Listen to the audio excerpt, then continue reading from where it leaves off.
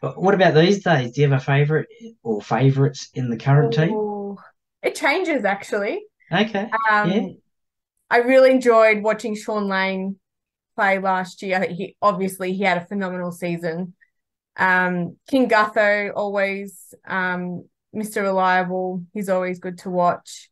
Dylan Brown, which we've re-signed him, so that's good. Um, I, I well, I think I've got to put these two in the past players now, which okay, yeah. I still still it still hurts a little bit. Obviously, Reed Mahoney and Isaiah Papali'i. Um, I guess the 2023 season hasn't started yet, but obviously they're no longer in blue and gold. So I really enjoyed watching them play.